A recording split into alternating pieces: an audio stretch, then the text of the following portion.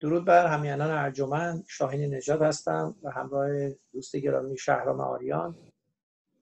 بخش ششم از سلسله برنامه هایی که میکوشیم از دیدگاه جنبش رونسانس ایرانی یک تحلیلی یا آنالیزی از تاریخ نسبتا معاصر ایران رو بدهیم. به این منظور ما به 500 سال پیش رفتیم از آغاز صفویه. آمدیم و در پنج برنامه گذشته رسیدیم به آغاز دوره قاجار. هدف ما این است که پس از آنالیز آنچه که برای ایران در دوره قاجار گذشته وارد دوره پهلوی بشیم و سرانجام به انقلاب اسلامی سال 57 برسیم و تحلیل خودمون رو از اینکه چرا و چگونه رخ داد آنچه که همه می‌دانیم. شاید یک مقداری از چشمانداز تازه تری با شما در میون بگذاریم. شهر جان درود بر شما. بالاخره وارد دوره قاجار شد آره یه جوری وارد قاجار البته یه خودی در مورد آقا محمد خان که صحبت کرده بودیم. خیلی دارم آماده سازی کرده بودیم. ما پیوسته از صفوی هی سنجیده بودیم که گفتیم همه چی بعدا هی تازه بدتر هم میشه. یعنی حالا اون همه مثلا انتقادی که الان این اواخر مود از صفویه می‌کنن که من گفتم اونا نسبت به پیشش یه گشایشی بودن اون چیزی که پیش از اون بود. ولی منم عرض کردم که شکست تاریخی روحی فلسفی فرجامین ایران اسلامی یا پس از اسلام در نقطه مهم صفویه که شاه عباس باشه خودش نشون داد. که انگامی که همه چی آماده شد امکانات فراهم شد و این شاه عباس که شخصا انسان نابغی بود کوشش کرد که گشایش های پدید بیاره و ایران سررشته پیوست به فرنگ رو بجویه و واپس نیفته و عموم مهتران درس خوانده علمای حوزه های علمیه که دانشگاه های عموق کشور بودن براستش بخوای عموم قشر میانه اونا خیلی اظهار نظری نکردن. گفتن که نه با همون شیوه سنتی اونا راضی ترن. و بعد ایشون آخر سر در حقیقت با وجود اون همه کاری که انجام داد هنگامی که داشت از جهان می‌رفت در حقیقت شکست خورده بود. چون مسئله اصلی که گشایش اندیشه در حوزه های علمی و در دانشگاه های یعنی کشور بود اون نشده بود. یه مقدار نمی‌دونم استانو از عثمانی پس گرفتن و نمی‌دونم پرتغالی رو بیرون انداختن و اینا اون کاری دراز مدت حل نمی کرد امنیت تجاری و اینا البته اون کار مهمی بود روان شاد. ولی بدون اون گشایش بنیادی در اندیشه همه چی محکوم دوباره به فروپاشی بود که همونم شد. و انگامی که اونا رفتن و نادرم اومد نادرم که همش دنبال کار نظامی بود و اونم طرحی نداشت واسه گشایش اجتماعی. رسیدیم به در حقیقت میان پرده زند و بعد به قاجار. این فرایند شکست فرجامین ایران اسلامی در زمان شاه عباس بعدا تو یک سراشیبی هی بدتر شونده خودش نشون داد به سوی قاجار. یعنی در زمان ببینید یه نقطه چیز بود. گزیرش بود. شاه عباس یه نقطه گزیرش بود که قوم ایران مسلمان شده. آیا وقتی پاش میفته و کنترل کشور دوباره دستش میفته پس از 800 سال که دست بیگانه ها و مهاجمین و حمله کننده های ایلی ترک و مغول و اینا بود الان که کشور دستش افتاده سر یه دوراهی بود. که راه پیشرفت رو می‌خواد بره با فرنگی ها همراه بشه به سان ایران باستان پیشرفت رو و خرد رو وجدان رو اینجور چیزا وجدان کاری رو بالای همه چی می‌خواد بذاره یا جنون این دینای ابراهیمی رو. و دو پاش رو توی کفش کرد جنون رو انتخاب کرد. و اون زمان هنوز فاصله خب با اروپا کمتر بود. آشکار بود که وقتی شما جلو دوراهی قرار می‌گیری و جنون رو انتخاب می‌کنی روز به روز بعدش بدتر خواهد شد. چون اون یکی ها که جنون رو انتخاب نکردن. اون یکی که دارن چهارنل میرن جلو. یعنی هر شب که تو میخوابی هر بامداد که پا میشی یه گام به سوی نابودی فرجامی نزدیکتر شدی. فقط خودت خبر نداری. افسون برای اینکه شرم جان ما وقتی داریم در مورد کشور خودمون سخن میگیم ما یک کشوریم به حال یک نظامی بوده یک ملتی داره. در حالی که وقتی همسنجی انجام میدیم با فرنگ و میگیم عقب میافتادیم در فرنگ هر هفته هر ماه. نه یک کشور و یک نظام بلکه چندین کشور با چندین دولت با یه سری مردمی که از برخی جا با متفاوت بودن خودشون دستاوردهای گوناگون داشتن. اونچه که در مثلا فرض کنیم بریتانیا انجام می‌شد یه چیزی بود افسون بر اون که در فرانسه انجام می‌شد و اون با چیزی بود که افسون بر هلند انجام می‌شد. در نتیجه اینها چون با هم در پیوند نزدیک بودن هم از نظر جغرافیایی هم از نظر بده و بستان طبیعتا کمک می‌کردن غیر مستقیم به هم که سریعتر جلو برن تو این فرایند صنعتی شدن و مدرن شدن. ولی ما دورورمون هم وضعیت خیلی بدی بود. یعنی جدا از اینکه خودمون خفته بودیم در همسایگی ما هم آنچنان شرایط خوبی نبود که باعث می‌شد تاثیر همسایه هم بر ما تاثیر چندان خوشایندی نباشه این سخنی که داری میگی این یک اثبات ریاضی بر ورشکستگی کل جهان اسلام. چون پیرامون هم اونا همه پیشرفت ستیز بودن دیگه. البته وضعیت مگول ها در هند که یه مقدار راه رواداری با دین های دیگر رو می‌رفتن اکبر شاه داستانش درازه و اون نمی‌خوایم وارد بشیم اون یه آلترناتیوی بود. از سوی هند دست کم جنون به سوی ایران نمی اومد اما از بقیه همسایه مسلمون جنون جنون روزمره بسیار بدتر از اون چیزی که در سرزمین شیعه بود. شیعه در مقایسه با اونجا سوئیس اونجا بود. اون یکی ها که اصلا کاملا مالی خولیایی بودن. تا به امروز هم تند روهای سنی در مقابل با تند روهای شیعه این همین آینه رو نشون میدن. بگذاریم. اون چیزی که میگی درسته در اروپا اینا تازه چند تا کشور اروپای شمالی یک جا آغاز کرده بودن. اینا تازه هماورد هم بودن و هر روز همدیگه رو حل می‌دادن به جلو. این یه گام می‌رفت جلو اون یکی میترسید که واپس بمونه اونم به خودش فشار می آورد توی زمینه دیگه اون موقع اون می‌زد جلو دوباره این یکی میترسید واپس بمونه اینم دوباره اونجا به خودش فشار بیشتر. همدیگه میکشتن به جلو. اینور همکاری بود در جنون و در واپسماندگی. یعنی اگه کسی هم می‌خواست پیشرفت کنه بس که همسایه ها دیوانه بودن و عقب مانده این یکی هم نگاه می‌کرد ببینید من بی خودی زیادی رفتم جلو. یعنی همچین روحیه بیشتر شاید هم حتی بود. ولی به حال همون که هماوردی نبود به سوی پیشرفت خودش بس بود. درست من یه مطلب بگم. مطلب بگم.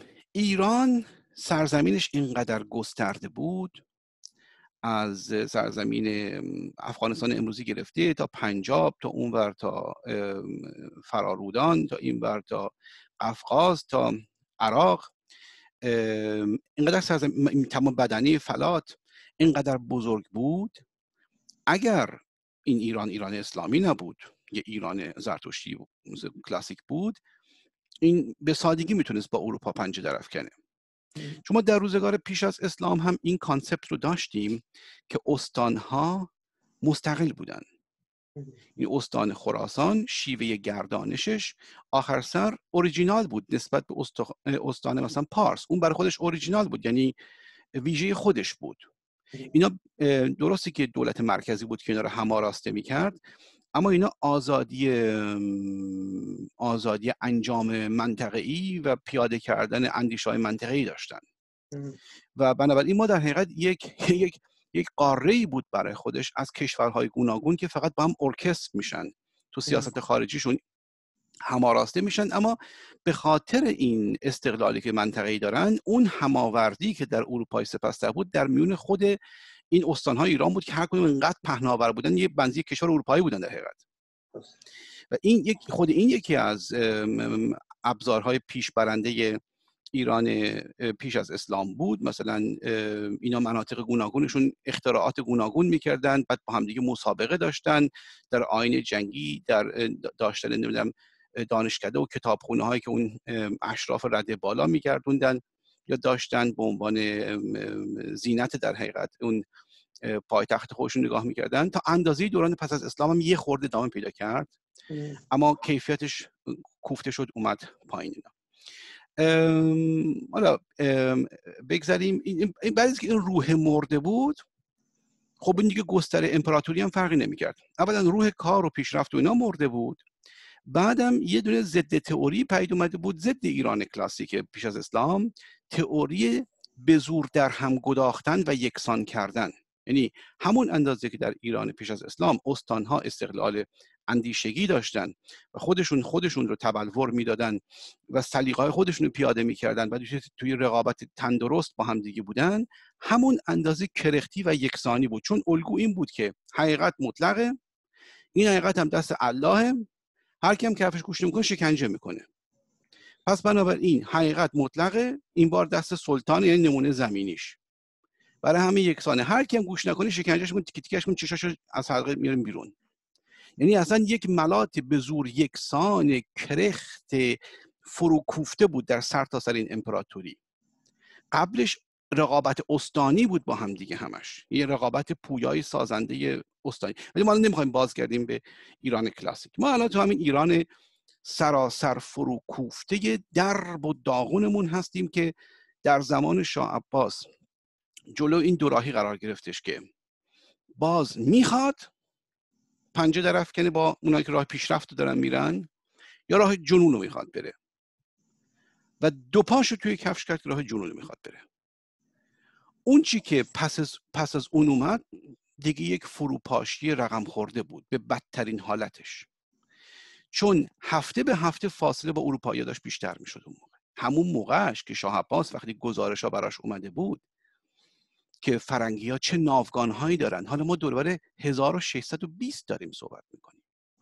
ناوگان هاشون بعدا 1720 پایان نادر اون دیگه از یک کیفیت دیگری بود. اونا دیگه همون حالا ما تاریخ کشتی های بادبانی فرنگ هم نمی‌خوایم وارد بشیم که خیلی تاریخ جالبیه چجوری از تکنولوژی کاراول ها آغاز کردن و بعدا به دو بادبانی و سه بادبانی و بعد با بادبان های کرانی و اینا رسید و بعد یه علمی برای خودش شد و این کشتی ها فراخ شدن و گسترده شدن و پیچیده شدن و در میانه صده 18 هم دیگه به یک پدیده های تکنولوژیک پیشرفته با, با چوب بود و بادبان بود ولی یک پیشرفته سوفیستیکیتد بود. نشده بودن که می‌تونستن دیگه افراد بسیار رو حمل کنن توپخانه های سنگین رو به خودشون ببرن و در داخل خودشون نمی‌دونم پزشک داشتن نمی‌دونم جانورشناس داشتن این کشتی جنگی که بعد وقتی جای پیاده میشه اونجا رو آنالیز داستان پیشرفت فرنگ چیز بسیار هیجان انگیزیه فقط داستان اینه که اینا سرآغازش رو زمان شاه عباس دیده بودن. شاه عباس هم تانزه فهمیده بود که هوا پسه ولی هیچ کاری نکردن. بعد این از که مرد مرد رو به قبله دراز. تازه هنگام زندگی هم که با اون به شدت در افتاده بودن که این منطقیون رو بیرون کن از حوزه ها زیادی هم منطقی آوردی. الان از قاجار دوباره دور افتادیم. باز برگشتیم سراغ صفویه و می‌خواستم فقط برای اینکه یه چیز روشن بشه. الان که تو قاجار هستیم شما تصور بکنید یعنی هدف این بازگویی این بود که صد و شست سال اینا از شاه عباس گذشته. تو این 160 سال چه قوقایی کردن فرنگی ها اون ناوگان های اولیهشون به چه شکلایی در اومده؟ ما دیگه دوربر 1780 1790 هستیم. انقلاب فرانسه داره انجام بشه. حالا ما پروسه های دموکراتیک فلسفی رو می‌ذاریم کنار. تو همون بخش تکنولوژی فقط بمونیم. 1780 خدای من 100 سالی که نیوتون تئوریاشو داده بیرون. در اون سبون قانون اصلیش اکسیوماش در مورد کنترل در حقیقت مکانیک برای نخستین بار پس از ارسطو این آرزوی دانشمندا به حقیقت پیوسته بود که به وسیله ابزار ریاضیات بشه حرکات فیزیکی رو توضیح داد. یه breakthrough یک دروازه گشایی بود در حد بزرگتر از کشف چرخ. و بعد از اون تو قرن 18 هم رو این افتاده بودن که کسایی مثل دالامبر و دیگران که این مکانیک رو به مکانیک آنالیتیک تبدیل کنن لاپلاس و دیگران که از داخل این یک بستر عظیم ریاضی برکشیدن. حدود 1790 که آقا محمد خان دیگه در پی اینه که کنترل کامل بگیره دست چش با اون چش در آوردن اون آدم کشی ها و اون بساط قرن وسطایی و شپ قرن وسطایی عصر حجر مال اینها عصر روشنگری هم دیگه گذرونده چون روشنگری هم میونه حدود 1730 تا 80 مثل کانت اینا دیگه تموم شده بود. درست اینا دیگه تو یک سیاره دیگری به سر می‌برن. یعنی اصلا موضوع دیگه زمان شاه عباس نیست. موضوع یک فاجعه است که دیگه جلوش هم نمیشه گرفت. چون فاصله دیگه اینقدر نجومی شده نمی‌تونی دیگه اصلا جلوشو بگیری. حتی اگه همون لحظه هم یه آدم خیلی کارآمدی میومد در ایران سر کار و اون علمای دیوانه هم مثل همیشه با اون مخالفت نمی‌کردن بلکه تا اندازه باش همکاری می‌کردن نمی‌دونم چقدر احتمال بود که قصر از داستان در برن. یعنی در داور شهرم اینه که همزمان با شاه در اروپا پیشرفت بسیار شتابانه.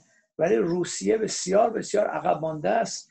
هنوز یه سیستم نیمه بردهداری است و حکومت متمرکز و نیرومندم تازه در حال تاسیس اونجا. ولی 160 سال بعدش در هنگام آغاز آقاجاریه دیگه دوره است که پتر کبیر اومده. زمان شاه عباس هنوز پتر کبیر نیومده در روسیه کاترین نیومده. و بعد زمان آغاز قاجاریه ما یه همسایه نیرومندی داریم که زمان شاه عباس اصلا نیرومند نبود اصلا متمدن نبود. و این همسایه نیرومند در آغاز سده 19 هم در دو جنگی مفاصله در 12 سال از هم دیگه بخش بزرگ قفقاز رو از ایران عملا تجزیه کرد. و دردآور اینه که هنگامی که تاریخ جنگ های ایران و روس رو می‌خونیم در دوره فتلی شاه پس از مرگ آقا خان می‌بینیم در هر دو دوره ای که ما مشغول جنگ بودیم هم جنگ دوره اول هم دوره دوم روس ها در اروپا مشغول جنگ بودن. یعنی روسیه در این حال که داشت با هماوردان اروپاییش میجنگید در قفقاز ما رو شکست داد. و این خیلی غم انگیزه معمولا کشورها می‌تونن از درگیر بودن کشور دیگری با دشمنان دیگر بهره ببرن. و امتیازاتی بگیرن مانوری بدن حتی با مذاکرات امتیازی بگیرن. در حالی که ما نه تنها نتوانستیم از این بهره بگیریم بلکه بیش از پیش آسیب و مناطق بیشتری از دست دادیم. اینکه به روسیه ای که خودش درگیر جنگ سنگین با اروپاست ما جنگ رو میبازیم فکر می‌کنم همون میشه که یکی مثل عباس میرزا میاد یقه اون فرنگی رو که به عنوان مستشار در چادرش بوده چادر فرماندهی می‌گیره میکوبه به دیوار و میگه که به من بگو این رمز پیروزی شما چیست چرا ما اینقدر بدبختیم چرا اینقدر گرفتاریم. فکر می‌کنم عباس میرزا اونجا طرح پرسشی می‌کنه که ما تو تمام این برنامه های چند ماه گذشته اون کوشیدیم بهش پاسخ بدیم. در حالی که خود عباس میرزا پاسخ رو نمی‌دونست. فکر می‌کنم آره. نمی‌دونست. اونا خیلی دور بودن هنوز نمی‌تونن بفهمن. جای خیلی خیلی خیلی خیلی مهمی دست نهادی. روس ها تو یک وضعیتی شبیه به ایران بودن یعنی از اروپای شمالی واپس مونده بودن و جلوی دوراهی بودن که چه کنن. یعنی ف... پتر کبیر پتر بزرگ شاه عباس اونا بود. او دست نهاد که بگشایه باید زورم می البته ولی مهتران قوم باهاش همراه اومدن. یعنی ما با اینکه تو بخش هایی که هست مسیحیت ارتودکس بدترین و واپس مانده ترین شاخه مسیحیت شمرده میشه یعنی از کاتولیسیزم و مشکلاتی که برای پیشرفت بشری پدید میاره بزرگ داره ظاهرا بدترین حالت مسیحیت هنوز ده برابر از اسلام رو به پیشرفت گشاده روتره. پتر کبیر اگه در ایران می‌خواست اون کارو بکنه شانسی نداشت. همون مخالفت ها باش می‌شد. او هم فشار زیاد آورد. فشار زیاد بود ولی خود قومم دیگه اینجوری نبود که دیگه تا پای مالی خولیا بره بگه من به زور می‌خوام از واپسماندگی دفاع کنم. اونجوری که مهتران قوم در حوزه علمی ایران می‌گفتن. و اون با, با یه فشاری بالاخره در رو گشود و قوم مسیحیشون ولو اینکه از حالت ارتودکس حالت خیلی عقب مانده تر مسیحیت خیلی سال پذیرفت. البته هیچ وقت اروپای شمالی نشد. یعنی ابتکار فردی وجدان فردی اون چیزی که لوتر برنهاده بود تو این بخش ژرمنی اونا هیچ وقت تو بخش ارتودکس پا نگرفتن حتی پس از پیتر. سیستم روسا همیشه یک سیستم اتوریتر از بالا پیشرفت بکن موند. درست. یعنی اتوریته از بالا باید دستور می‌داد بندر بزنید این کار کنید اون کار کنید فلان. مال این یکی اروپای شمالی اینا از یه جنس دیگری بود. اون از جنس همون زرتشت پیش از اسلام بود. یعنی هر انسانی یه موتور پیشرفت بود. یه موتوری که همینجوری با دو هزار چرخش در دقیقه داره میچرخه می‌خواد خوش زیر کار بکشه یه جای رو بسازه. اون یه چیز دیگه است. یعنی اونجا مراکز ابتکار میلیون ها هستن. تو هر انسان یه مرکز ابتکاره که می‌خواد خودش بسازه و برکشه. مال ارتودکسان اینجوری نبود در روسیه. مهتر باید تصمیم می‌گیره. مهتر باید فشار می آورد مهتر باید اینا رو میکشون تا به امروز هم اینجوریه. روسیه با این عظمتی که داره و این همه تک آدمای موفقی که داره این همه برنده جایزه نوبل برنده جایزه فیلز یه آلمان به این کوچیک نوک انگشتش اقتصاد اون رو متلاشی می‌کنه. یعنی هنوزم بعد از 300 سال یا 300 سال فرقشون با آلمان پروتستانتیش یکی مونده. و جالبه هنوزم که هنوز ولی اونا از جهان اسلام توانمندترن. گویا این قانون واقعا مثل قانون فیزیکی ریاضی میمونه که تو این رده بندی این ها یا این نرم افزارهایی که در مغزها نهاده شد اون بخش مسیحی پروتستانت از همه سطح بالاتر بود. کاتولیک رده میانه بود ارتودکس ضعیف پایه بود توی مسیحی ها ولی هنوز ده پله از اسلام بهتر بود. برای همین هم جهان اونا می‌تونه تا اندازه ارتباط با اروپای شمالی نگه داره که قطع قطع نشه عقب عقب نیفته. فاصلش مثل مثل خاور میانه نیست با اروپا. ولی مثل خود اروپای شمالی هم نمی‌تونه بشه. همیشه محتاج تکنولوژی آلمانی میمونه. اون طرف مسلمونا نه. اونا چه 300 سال پیش چه 200 سال پیش چه الان رو به قبل درازن. یعنی اون اون اون فاصلهشون یک گستره نجومیه. حالا ما برگردیم به زمان قاجار. آقا محمد خان اومده سر کار. از تمام این حرفایی که من تو اینجا داریم می‌زنیم آخرین فرصتی که زمان شاه عباس بوده که این عقب ماندگی ها رو برسونن این عقب ماندگی های تاریخی نمی‌دونم اسلام چیه زرتشت چیه نمی‌دونم دینای بقیه از این خبر نداریم این فقط اومده تو اون سیستم بگیر و ببند و بکش ایلی ترکیه قدیمی که از قاجار بود. قاجار هم که همون از ریشه قوانلو و قوینلو و حالا از زیر شاخه بیات و اینا برمیگشت تا در حقیقت ترکمن هایی که یه موقع به ایران اومده بودن.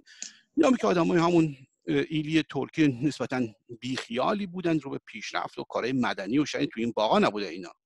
نه تو چش اینو در بیرو زبون اونو ببره از این حرفا که یه جوری شاه بشیم. این کارا آخر با اون فتلی ببخشید با چیز انجام دادن؟ با لوتلی خان انجام دادن که البته اونم به قول آذربایجان ماتاخی نبود. به جز اینکه زندی خودشون آدمای خشن آدم کشی نبودن چیزی هم بارشون نبود. بگن خب جلوی اینا رو می‌گرفتن. اومد سر کار. با این همه بگیر و ببند و بکش و چش در بگیر و زبون ببر اومد سر کار. حالا تصور کن اون موقع فیزیک لاپلاس و اینا گذشته رفته تو اروپا. حتی دیگه نیوتون هم نیست. لاپلاس لاپلاس. یعنی ما در آستانه قرن 19 هستیم. گاوس یه کودکی داره در آستانه پیدا میشه. اینا کسایی بدن وسط قرن 19 ریمان دیگه اصلا تو اون دیگه جای دیگه است یعنی وسط قرن 19 هم دیگه فقط یه پله فاصله داریم با نسل اینشتین و اینها. درست. ولی از آخر 18 هم هستیم. همین الانش هم فاصله نجومی شده. فقط اونا تو ایران اصلا خبر ندارن.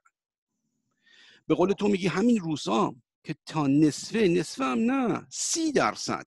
تونسته بودن پیشرفت اروپای شمالی رو برن از پتر تا کاترین. به حالتی دیگه غیر عادی جلو زده بودن از ایران که قبل از اینکه اون کار رو بکنن هم ارز ایران بودن تو جنگیدن. زمان شاه عباس هم ارز هم دیگه بودن. اروپای شمالی نه اون هم موقع جلوتر بود. ولی اون هم ارز بودن. از هم ارز دیگه با این سی درصد اروپای شمالی که فهمیده بودن انقدر نجومی جلو زده بودن که می‌تونستن تو یه جبهه اونجا علیه ناپل اون بجنگن بعد تازه این طرف هنوز جلوی اینا رو بگیرن. البته خب ترتیب درست داستان این بود که تا موقعی هم که علیه ناپل اون میجنگیدن میل نداشتن که با ایران در بیفتن کامل. وقتی که اون شکست و 1807 از ناپل اون خوردن و قرارداد آشتی برنهاده شد اون موقع ناپل اون دست از سر اونا برداشت و همزمان هم دست از یاری به ایران برداشت. بله. و بعد اون موقع اون شکست فرجامین در گلستان 1813 پید اومد. ولی لب داستان اینه که یه داستان دیگه رو بگم. این ایرانی های شیعه خودمون اسلامی و اینها با این همه ادعا و اینها و اون صحبت های عجیب و غریب که نمی‌دونم اگه فتل شاه شمشیر از نیام برکشد چه می‌شود. خودشون هم خیلی دکتر بسیار خندار و تراژیک اینه. خودشون ظاهرا دورور سال 1800 1805 می‌دونستن چقدر عقبن از اروپا. یه جوری بو برده بودن قبل از اینکه نبردا به گلستان منجر بشه. چرا؟ برای اینکه فتلی شام همش دنبال این بود که یا پیمان همکاری با انگلیسی ها ببنده یا با فرانسوی ها یعنی از زمان شاه عباس یادشون مونده بود که بدون مستشارایی که از اونجا آمد اون شرلی ها و دیگران. بله. ما شانسی علیه همین عثمانی ها نداشتیم که خود ها الحمدلله هرچی داشتن از اروپایی ها فقط می‌گرفتن. خودشون بلد نبودن. این تمام جهان اسلام خداوندگار استعداد و پیشرفت بودن تا اون مدت. خیلی عجیبه. با اینکه اینو می‌دونستن که ما بدبختیم و مجبوریم با انگلیسی ها همکاری کنیم مجبوریم با فرانسه اینو می‌دونستن. بازم دو پاشون کفش کردن که پیشرفت پیشرفت. این واقعا از اون چیزیه که این قدما کت ها تو ایران بهش می‌گفتن از عجایب اسلام. از اون منظور دیگه داشتن از معجزات می‌گفتن. اینم از اونه. تو خودت می‌دونی بدبختی و به خاک سیاه نشستی کمک فرنگر نیاز داری. میشه به من بگی چرا از جات تکون نمی‌خوری؟ این دیگه چه combination یه؟ چون اگر باور نداشتن که عقبن اینقدر دست و پا نمی‌زدن که برن مستشار انگلیسی بیارن. مستشار از فرانسه بیارن. همونجور تو همون حالت ایلی اینا می‌رفتن یه شکست وحشتناکی میخوردن اصلا بیخبر از همه چیز متلاشی می‌شدن می‌رفتن. ولی اینا دیگه در پی این بودن که همش از انگلیسی ها و فرانسوی ها مستشار بگیرن. یعنی خودشون می‌دونستن که این فناوریه به شدت واپس مونده. و جالب اینه شرم جان وقتی دوره اول دوره نخست جنگ های ایران و روس ایران شکست می‌خوره و پیمان گلستان رو میبندن و گرجستان رو واگذار می‌کنن بخش بزرگی از ایران یا آذربایجان جمهوری آذربایجان کنونی رو واگذار می‌کنن و اینا. خب از اون تا حد فاصله جنگ های سری دوم ایران و روسیه که حدود در 12 سال طول می‌کشه مرتب در درون کشور صحبت از اینه که آقا باید کاری کرد باید به این مناطق رو پس گرفت و خود حکومت فتلی شام میدانه که ناتوانه برای انجام این کار. بر همین مرتب به درخواست روحانیان پاسخ منفی میده که الان آمادگی نداریم خزانه خالی یا قشون نداریم و از خرابه. با این نگرش وقتی فرمان جهاد داده میشه و به اصطلاح علمای اعلام حرکت می‌کنن به قفقاز عملا فتریشا و دولت قاجار دستشون بالا میره به تسلیم و همراهی می‌کنن و خودشون و مردم داوطلب رو به مسلخی می‌برن که می‌دونستن از پیش بازنده هستن و علا رقم پیشروی های نخستین حالا می‌خورن به سرما و نبود سوخت و نبود خوراک و مدیریت صفر در مسئله رهبری مسائل جنگی و پشت سرش ترکمنچای.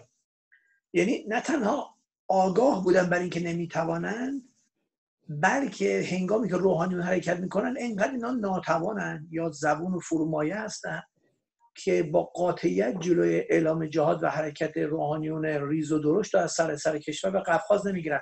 همون روحانیونی که هنگامی که وضع جنگ خراب شد هر کدوم از یه طرف در رفتن و توی سوراخ قائم شدن و هیچ کدوم قبول مسئولیت نکردن.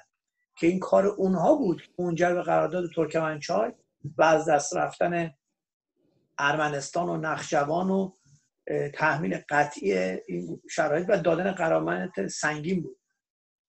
چرا جلوی روحانیون اینا نه نگفتن شرا من به حال یه ارتباط مستقیمی داره به امروز ایران. ببین همونطور که اونا دو پاشونو توی کفش کرده بودن و می‌گفتن ما پیشرفت نمی‌خوایم پیشرفت نجسه پیشرفت غیر اسلامیه ولی یه جورای جهان هم می‌خوایم فتح کنیم. حالا خدا بزرگ کنیم چجوری؟ همین combination الان هم هست این جمهوری اسلامی اکنونم خداوندگار گسترش عقب ماندگی ذهنیه. ولی میگه به زودی می‌خوایم جهان فتح کنیم. البته یه راهی وجود داره که مسلمان الان رو اون سرمایه گذاری می‌کنن. اگه همش ما افرادمون بفرستیم به فرنگ این برانور اینا بچه زیاد بیارن مثلا ممکنه 100 سال دیگه فرنگی وجود نداشته باشه ما جهان اینجوری فتح کنیم. امکانش هست.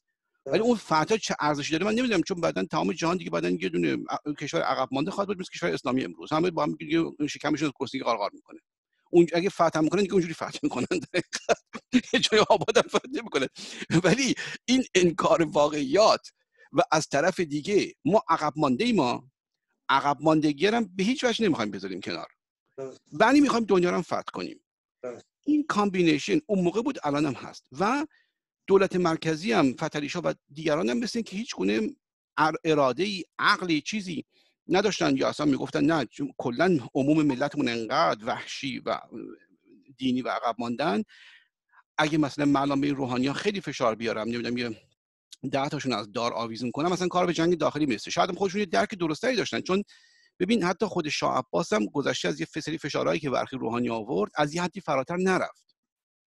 و اونا وقتی بهش گفتن که اگه زیاد بریم ما کمک نمی کنیم با فتواها علیه عثمانی اونم مجبور شد باشون کوتاه بیاد و دست منطقیون کوتاه کنه مسائلی که گفتیم. این ترس از در افتادن با روحانیون و علما که تقسیم گردن رو نندازیم. همه قوم دیوانه و وحشی شده بود به گذران هزار سال. تقصیر اونا نندازیم. من شدیدا مخالفت دارم که بگیم روحانیون ما واپس مانده بودن بقیه خیلی پیشرفته بودن. اینی که با اونا در نیافتیم این من گمان می‌کنم خودشون هم می‌دونستن که شاید عموم قوم از همون دیوونه خوششون میاد.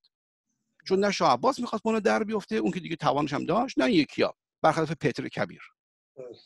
پتر کبیر که در فضای مسیحی عمل می‌کرد مسیحی ارتودکس ظاهرا یه فرقای قابل توجهی آخر با اسلام داره. حتی با بهترین بخش اسلام کمی شیعه باشه. حتی پتر کبیر هم ناچار شد یه داره بکشه.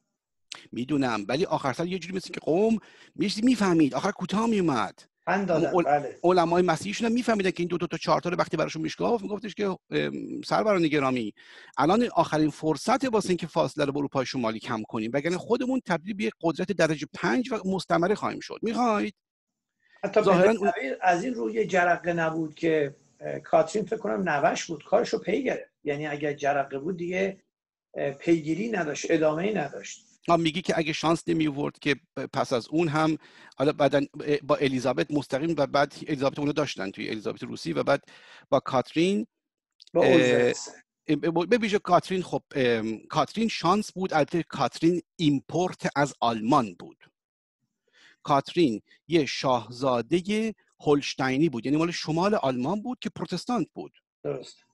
اینو گرفتن واسه ولیعهد روسیه که یه آدم خود نیمه خلمشنگی بود جوان نیمه خلمشنگی بود و بعد این, این, این, این تمام این فضیلت های آلمانی پروتستانتی رو این با خودش این دختر برداشت برد اونجا. حالا بگذاریم اون داستان تاریخ روسی هم الان نمی‌خوام وارد ولی مهم اینه که همون پتره که اول با چکش زد در رو باز کنه آخر همون ظاهرا علمای عقب مانده ارتودکس اونا ظاهرا هر کدوم در مقایسه با علمای عقب مانده ما یه فیلسوف بودن. بله تن دادن اصلا به یعنی می‌فهمید آخر سر که این علا حضرت این حرف آخر راست میگه. اگه ما تن در ندیم به این فرایند پیشرفت خب چه سرنوشتی می‌خوایم آخر داشته باشیم؟ مال این یکی نه. بی خیال مثل همونی که الان در جمهوری اسلامی هم می‌بینی. بی خیال شاید یه چیز دیگه ای که در مورد قرارداد ترکمنچای هست که بازم به موضوع به جستارمون پیوند پیدا می‌کنه که کمتر بهش پرداخته شده در مورد ترکمنچای خب تلخی و زهر این قرارداد مثل گلستان جدا شدن بخشایی از ایران زمینه. ولی یه بند داره که کمتر بهش پرداخته شده. به اصطلاح اون بند و روسا آمدن یه امتیازی مثلا به ایران دادن. هرچند امتیازی هم نبوده. که دولت تزاری روسیه از این پس از فرزندان عباس میرزا برای رسیدن به تاج و تخت پشتیبانی می‌کنه. و تا آخر دوره قاجار هم دولت روسیه یه همچین نقش رو بازی کرد. خیلی فکر کنم دردناکه برای بار نخسته که ما می‌بینیم در یک قرارداد ایران با یک دولت بیگانه از اونها خواسته میشه که از یک خانواده از یک دودمانی پشتیبانی کنن. ما دوره صفوی نمی‌بینیم توی دوره های پیش از اسلام نمی‌بینیم که این به عنوان شرط گذاشتن. به نوعی می‌شود گفت فرزندان عباس میرزا تحت حمایت شما باشند. فکر کنم برای همین هم که زمان مثلا انقلاب مشروطه و محمد علی شاه اینا روسا آمدند و محمد علی شاه به پشتیبانی رو مجلس به توپ بست. ولی یه همچین خاری و زبونی رو من فکر می‌کنم خود ایرانی ها یعنی خود دولت ایران با این امضا کلیدش داد در دست بیگانگان برای دخالت مستقیم. این گونه نبود؟ در حقیقت مجموعه دردهایی که داری توصیف می‌کنی این ما رو آماده می‌کنه برای نشست آینده. چون این دردهای چند بودی که وارد اومد اول خود اون شکست. بعد مهتران قوم چه مذهبی چه غیر مذهبی به چشم خودشون دیدن که کشور فرو کاسته شده از یه ابرقدرتی که قبلش خیال می‌کردن هستن؟ از امروز به فردا به یه کشور درجه سه حتی نه درجه دو. و بعد ایالات رفتن. فروکاست قدرت اومد. زبونی به جای رسید که دولت شاهنشاهی اینا که قبلا خیال می‌کرد این برای خودش در جهان هنوز کسیه تبدیل شده به یک دولت بازیچه اون یکیا. که میگه خواهش می‌کنم ولیت منو نگه دارید از این دست یعنی واقعا نهایت شخصیت شکنی. این بعد اون چکشی بود که تو ملاج خیلی از مهتران ایران خورد که از توش آخونزاده و دیگران در اومدن. یعنی یه درد زایمانی بود به سوی ایران نوین. به سوی ایران نوین و درگیری نهایی ایران با اسلام که ما تو اون دوران زندگی می‌کنیم. این درگیری نهایی که هنوز روشن نیست توی کتاب تاریخ چی نوشته بشه؟ که آیا آخر سر این اهریمن گشوده شد حل شد منحل شد رفت به وسیله اون درد زایمانی که توی شکست های از روسیه پدید اومد و ایرانی آخر توی فرایند 200 ساله گلوشو گرفتن و کشورشون رو پس گرفتن؟ یا اینکه انقدر موند چون که الان تو جمهوری اسلامی هم دوباره سر کار اومده که کشور متلاشی شد و تجزیه شد. این امکان دومیه که ممکنه منتظر ایران باشه توی سال آینده. چون الان در حقیقت جمهوری اسلامی تو پیامد موندنش که در حقیقت همون بازمانده در حقیقت شکست قادسی هست دیگه این دولت اگر موفق بشه که ایران تجزیه بشه بعد سرنوشت تاریخی ایران اونجوری تموم میشه. این کتاب تاریخ نویسن که اسلام آخر سر ایران رو کاملا نابود کرد. چون آخر به تجزیهش فرجامید و تیکایی که پاشتن دیگه به هم نمیچسبن که دور زمونه. و یا اینکه از اون ور تموم بشه. یعنی اینکه آخر پس از 1400 سال پس می‌گیرن بالاخره کشور رو. ولی این درد زایمان به سوی این نبرد نهایی از همون گلستان و ترکمنچای آغاز شد که در پی اون بود که کسایی مثل آخونزاده و دیگران بر اومدن. البته چند بودی کار کردند. فقط مسئله در افتادن به خود بنیاد اسلام نبود بلکه دریافتن اینکه فرنگی ها به چه دستاوردهایی رسیدن. مثلا کلا جدا از اینکه اسلام بعد خوب ما کجا موندیم فرنگی ها کجا رفتن؟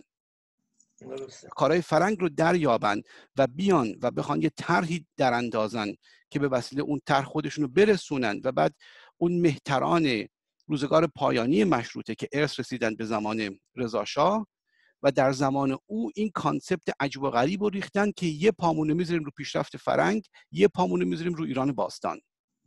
که توی اون دودمان پهلوی بعدا ساخته شد اومد بیرون. البته با مشکلاتی که داشت چون از بخش در حقیقت دموکراتیک اقلاب مشروطه فاصله گرفت که اونا رو بعدا به جزئیات میشکافیم.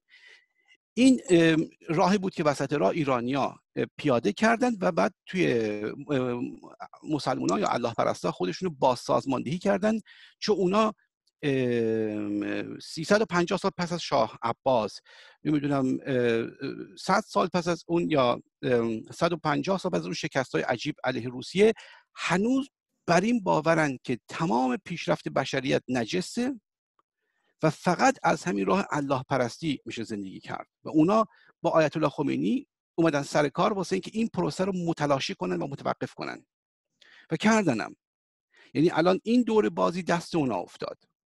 و معلوم نیست هنوزم کس نمی‌دونه عاقبت ایران چی خواهد شد. که این بیماری 1400 ساله آخر سر حل میشه میره یا اینکه ایران آخرش متلاشی میشه که تا الانم نصفش رفته. و این فرایند این نبرد نهایی در حقیقت با شکست گلستان ترکمنچای وارد شد. چون مهتران ایران یهو بعد از هزار خورده سال که در سوراخ‌های خزیده بودند و گم شده بودند اون مهتران اساسی این در دیوان سالاری ها و اینها که حکومت هزار خورده سال بود که دست ترکا افتاده بود اینا اومدن بیرون و خواستن که توی قیام بزرگ کشور رو پس بگیرن. از این combination عجیب و غریب software اسلام و مهاجمین دشت‌نشین های عرب و دشت‌نشین های ترک یعنی این میان پرده 1200 ساله رو که software اسلام با دشت‌نشین های عرب و ترک یه معجون دوزخی درست کرده در ایران و تمام پیشرفت ها رو سوزونده اونا تو انقلاب مشروطه کوشش کردن که درمان براش پیدا کنن. حالا تا چند خداگاه بود یه مطلب دیگه است. چون خیلی هاشون ممکنه بگی فقط دنبال دموکراسی بودن. دموکراسی هم یه امر فرنگی بود. آیا واقعا اینا دنبال درمان دردای تاریخی بودن؟ اونو بعدا میشکافیم. ولی یه بخششون می‌دونستن چی کار دارن می‌کنن. مثل مثلا آخوندزاده. ما تو اون دوران اون 180 سال پایانی اون موقع وارد میشیم که الانم توش هستیم و کسی هم هنوز نمی‌دونه که عاقبت این داستان چی خواهد بود.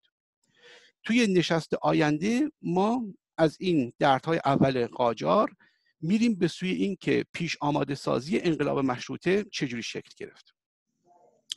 چقدر دیگه زمان داریم شاین جان؟ یه حدود سه چهار دقیقه فرصت داریم. من مطلبی که می‌خواستم بی افزایم شرم جان به اون چی که گفته شد در مورد تاثیر ویرانگر اسلام بر ذهنیت و اندیشه ایرانیان که هزار سال ما رو به انحطاط برد تا در دوره قاجار به ورشکستگی کامل رسیدیم صحبت شد. ولی تاثیر مستقیم هم ما می‌بینیم. مثلا درست اندکی پیش از جنگ های ایران و روس در سالهای آخر سده هجدهم میلادی آقا محمد خان به تفلیس حمله می‌کنه مرکز گرجستان. و تفلیس رو معاصره می‌گیره در معاصره می‌گیره و بعد نهایتا شهر رو فتح می‌کنه. گرجستان یکی از به اصطلاح استانهای ایران بوده از زمان صفویه بوده و خیلی از گرجی ها در نیروهای نظامی ایران بودن. مردم گرجستان برها ایرانی به شمار می آمدن هرچند که از نظر تیر و تبار از قفقازی های قدیم و ایشون سه روز زن و بچه مردم تفلیس رو بر رزمندگانش حلال می‌کنه.